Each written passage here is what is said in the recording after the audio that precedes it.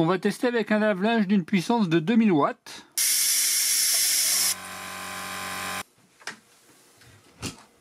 On va vérifier la qualité de l'onde sinusoïdale. 3000 watts. Bonjour tout le monde, alors petite présentation et test d'une station d'énergie solaire qui m'a été envoyée par le site Gigmaxi. Il y a une offre de lancement sur la station, si ça vous intéresse, vous avez tous les liens en description de la vidéo. C'est une station d'une puissance maximale de 2400 watts et d'une capacité de 2160 Wh. A pour alimenter 2400 watts pendant environ 50 minutes et moins vous allez tirer et plus longtemps va fonctionner.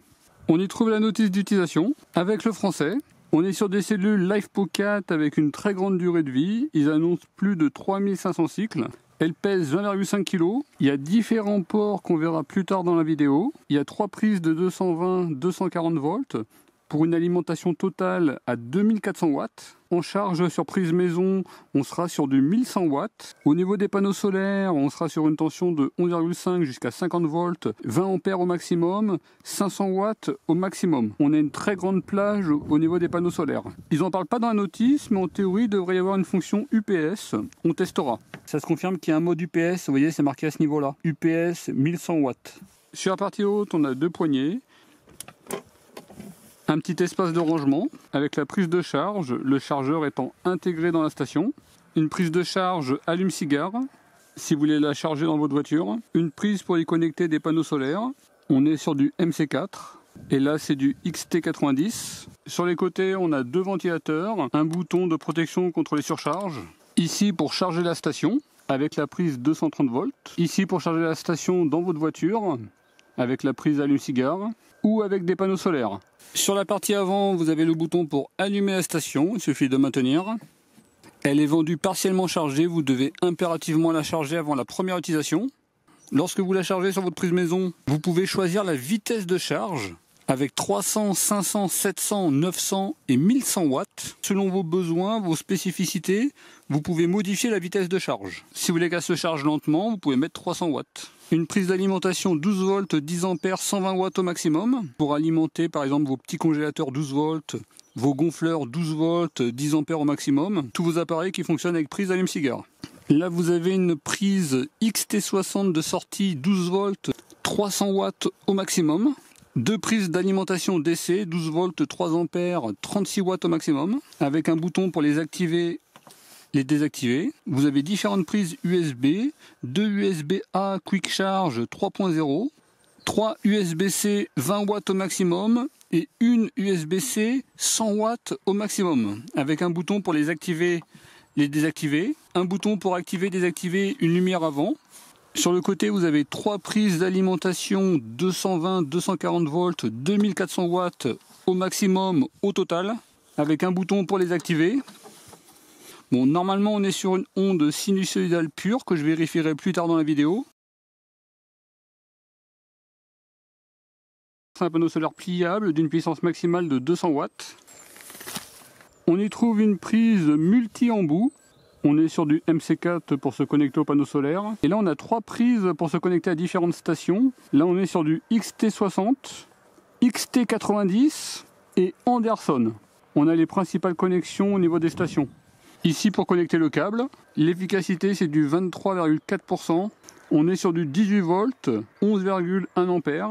Il pèse 7,2 kg avec deux poignées sur la partie haute. Et au total, il y a 4 modules solaires. On est sur une longueur totale de 2,24 m et une hauteur de 54 cm. Il est maintenu par un total de 3 pieds.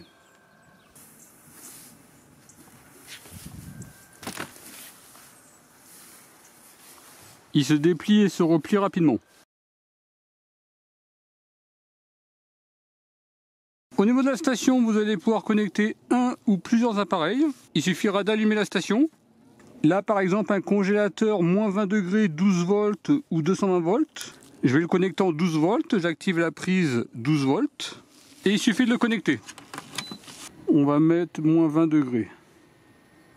Tout ce qui est congélateur glaciaire 12 volts, il n'y aura absolument aucun problème. Étant donné que généralement on est sur 50 watts au maximum et que là on est sur 120 watts au maximum. A noter que vous pouvez décharger tout en chargeant. Si je veux, je connecte un panneau solaire et comme ça, je charge la station tout en utilisant des appareils, ce qui peut permettre une utilisation illimitée. Au niveau des prises de 120 volts, connecter plusieurs appareils d'une puissance maximale de 2400 watts. C'est-à-dire qu'elle est compatible avec pratiquement tous les appareils, que ce soit le bricolage, la maison, etc. etc. Vous verrez par la suite, j'ai fait plein de tests. Simplement, vous regardez la fiche de l'appareil, là c'est marqué 1300 watts. 1300 watts, on est en dessous de 2400 watts, il n'y aura aucun risque.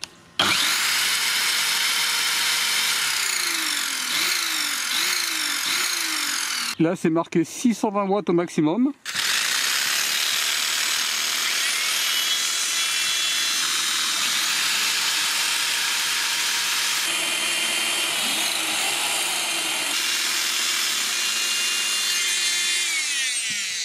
C'est-à-dire compatible avec, on va dire, les 98% des appareils. Bon, je vais pas tester, mais je pense pas que des compresseurs de 1500 watts les fassent fonctionner. On va quand même tester parce qu'on est quand même sur 2400 watts. Donc normalement, on va peut-être pouvoir le faire fonctionner. Vous voyez, là, c'est un compresseur de 1500 watts.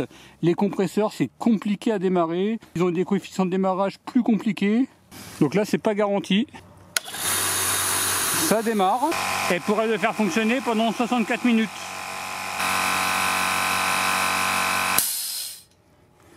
Bah écoutez, pas de problème. On va voir si elle va le refaire fonctionner à 6 bars, ce qui sera plus difficile.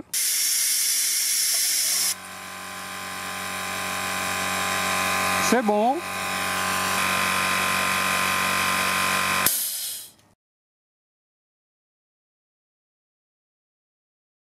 On va tester avec un appareil qui consomme 3000 watts. Surtout, vous connectez pas des appareils qui consomment plus de 2400 watts. Mais j'ai eu l'impression, lorsque j'ai testé la station avec une plaque électrique, qu'elle faisait une régulation de puissance à 2400 watts. C'est-à-dire que si on dépasse 2400 watts, par exemple 2800, 2700, elle va réguler à 2400. On va voir ça tout de suite avec un chauffage de 3000 watts. Normalement, elle ne peut pas le faire fonctionner. Sauf si elle fait de la régulation de puissance. On va commencer à 1500 watts. Là, elle indique 1500 watts. Là, j'ai même du 1575 watts. 3000 watts.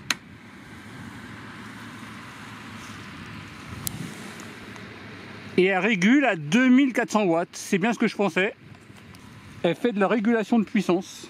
Et là, on a même 2530 watts. Normalement, les appareils de plus de 2400 watts normalement ne devraient pas fonctionner, mais elle régule la puissance à 2400 watts. Là, ça risque de devenir très compliqué. On va la faire sauter.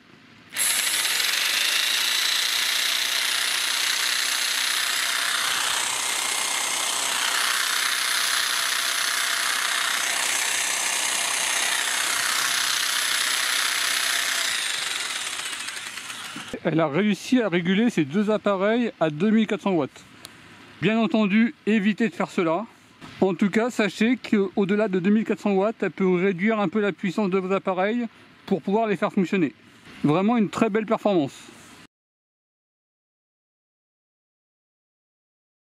Concernant les panneaux solaires, la station elle a une très large compatibilité de 11,5 jusqu'à 50 volts, 500 watts et 20 ampères au maximum. C'est-à-dire que vous allez pouvoir connecter sur la station bah, pratiquement tous les panneaux solaires. Par exemple, on pourrait connecter le panneau solaire de 200 watts de Tal Power. On pourra en connecter un, voire même deux. Là, c'est un panneau solaire de 420 watts. Il est également compatible. Là, je viens de le connecter. Et là, pour l'instant, à 11h du matin, on est sur du 280 watts. Vous pouvez acheter un panneau solaire rigide jusqu'à 500 watts. Et ça sera compatible. On a vraiment une très large compatibilité solaire. Bien entendu, vous pouvez charger la station tout en utilisant des appareils avec. Là, par exemple, le chauffage, je le fais fonctionner à 3000 watts. J'ai 2400 watts parce qu'il régule la puissance. Et là, j'ai 250 watts d'entrée solaire. Donc là, j'ai connecté le panneau solaire et j'ai connecté le chauffage. Et là, vous voyez, il n'y a aucun problème. Et à noter que la station est extrêmement silencieuse quand on la charge en solaire. On va faire un test de charge. Je vais sélectionner 1100 watts. Ça affiche 1100 watts. Elle sera chargée dans 2 heures. Et là, j'ai bien du 1100 watts. Au démarrage, il n'y a aucune ventilation, aucun bruit. On arrive sur 1h30, on est à 77% de batterie. C'est une station très silencieuse. D'un point de vue thermique, là le point le plus haut, on est à 32 degrés. Sur le côté, on est à 42 degrés. À 85%, on réduit sa vitesse de charge et on est à 550 watts. Vous retrouverez toutes les informations de cette station sur bricoscore.com, rubrique groupe électrogène à batterie. La charge totale aura été en 2h10 minutes pour 2078 Wh. Charge à 1100 watts de 0 à 85%. Après, elle commence à réduire sa vitesse de charge. Elle fait bien une charge lente en fin de charge. Et la charge est très discrète. Je suis en train de faire un stress test 2400 watts. Vous voyez, elle affiche à peu près 2350 watts. Et en réalité, je suis à 2500 watts. Il y a un avertissement batterie faible à 10%. Il reste 6% de batterie, la ventilation s'est accélérée. Ça reste extrêmement silencieux pour 2400 watts. Là, il reste 1%, 2330 watts. Et là actuellement je suis à 2512 watts, 2511 watts. Ah, ça vient de lâcher à l'instant. En 36 minutes et 40 secondes pour 1522 watts envoyés. A noter que le ventilateur continue à fonctionner pour chasser la chaleur. J'ai également fait un test 1600 watts. Elle aura fonctionné pendant 1 heure et 1 minute. Elle aura restitué 1676 watts. De manière générale, c'est une station vraiment très silencieuse. On va tester avec un lave-linge d'une puissance de 2000 watts. J'allume la station, j'active la prise. C'est un mode mix silence, 40 degrés, 1h06. Et on va mettre 1400 tours. C'est parti. C'est une station très silencieuse. Là par exemple à 2000 watts, elle ne fait aucun bruit. Vous voyez, les ventilateurs pour l'instant se sont même pas enclenchés. Donc là ça va bientôt se terminer. On est à l'essorage. C'est terminé, il reste 48% de batterie. Consommation totale 778 Wh et un pic à 2175 watts. On va tester avec un lave-vaisselle d'une puissance de 2000 watts. Je fais un programme économique. Le lave-vaisselle est terminé. Il reste 44% de batterie. Consommation totale 836 Wh. Et il y a eu un pic de consommation à 1985 watts. La station l'a pas entendu durant tout le test. On va tester avec la station différents appareils jusqu'à épuisement de la batterie. On va commencer avec une machine à café. En description de la vidéo, vous retrouverez tous les liens des produits utilisés. Au niveau du test à la suite, j'ai utilisé 9 appareils avec avec une machine à café, robot pâtissier, plaque électrique, friteuse à air chaud. J'ai chargé des batteries, un chauffage de 2000 watts, un sèche-cheveux de 1000 watts, un chauffage surprise de 500 watts. Là, vous avez le temps de fonctionnement que j'ai fait avec les différents appareils. Et là, vous avez la restitution. Vous voyez, par exemple, avec une friteuse à air chaud, en 15 minutes de fonctionnement, ça aura restitué 224 Wh. Sur ce test varié, elle aura restitué 1500 Wh. On va tester la fonction alimentation de secours avec un ordinateur de bureau. La station, elle est connectée à la prise 220 volts de la maison. Et à la station, j'ai connecté l'unité centrale, l'écran et une petite lumière qui est ici. En théorie, si tout fonctionne bien, en cas de coupure électrique, la station doit reprendre immédiatement l'alimentation des différents appareils. J'allume l'ordinateur. On voit qu'on a des entrées qui sont égales aux sorties parce que l'alimentation de l'ordinateur se fait pas par les batteries de la station, mais directement par le réseau électrique. Et uniquement en cas de coupure électrique, c'est la station qui va reprendre la suite. J'allume la lumière. Actuellement, on est à 170 watts. Il y a eu un petit saut de lumière au niveau de la lumière. Au niveau du PC, il n'y a pas eu de problème. Maintenant, il n'y a plus d'entrée, c'est uniquement la station qui a repris la suite. Le courant électrique revient.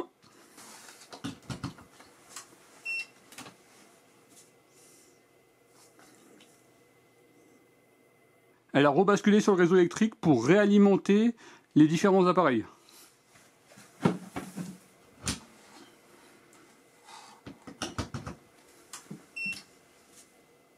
pas de problème avec la fonction UPS dans une limite maximale de 1100 watts. Bon, certes, c'est un ancien PC, mais il est complet, avec carte graphique, alimentation 850 watts et plusieurs disques durs. Il n'y a eu aucun problème sur au moins 3-4 coupures. Très bonne fonction UPS. On va vérifier la qualité de l'onde sinusoïdale. C'est parti. Et on est bien sur une onde sinusoïdale pure. Vous allez pouvoir connecter tout type d'appareil dessus, il n'y aura aucun risque pour les appareils que vous allez connecter. Tout ce qui est compresseur, vos petites alimentations, il n'y a absolument aucun risque.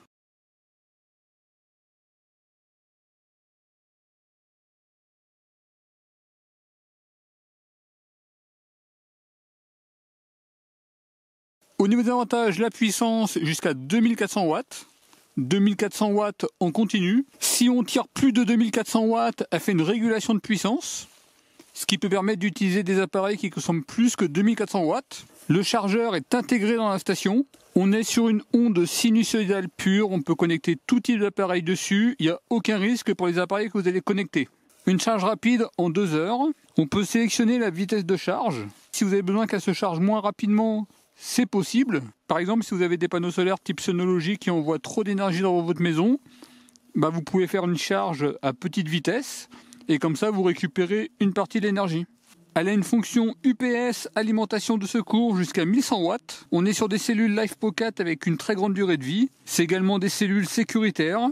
C'est une station qui est très silencieuse, que ce soit à la charge, à la décharge ou avec les panneaux solaires, de manière générale, elle est vraiment extrêmement silencieuse. Les ventilateurs fonctionnent en fonction de la chaleur interne. Ça fonctionne pas en fonction de la puissance qu'on tire. On a un grand écran, plein de prises différentes, plein de prises USB, dont une 100 watts, trois prises de 220 volts. Les différents câbles sont inclus, par exemple si on veut la charger dans sa voiture. Une très large compatibilité solaire, elle est pratiquement compatible avec tous les panneaux solaires jusqu'à 500 watts. Prenez des panneaux solaires avec connecteur MC4. Et quand la station arrive à 10%, on a un avertissement batterie faible, on a une petite lumière avant, et le prix 699 euros. Au niveau des points négatifs, ça aurait été bien une application, par exemple pour limiter la charge et la décharge. En tout cas, vraiment une excellente station, et je mets un coup de cœur sur cette station. Si ça vous intéresse, vous avez tous les liens en description de la vidéo avec le code promotionnel qui vous l'a fait descendre à 699 euros. En tout cas, je vous remercie d'avoir regardé cette vidéo, et je vous dis à très bientôt. Au revoir.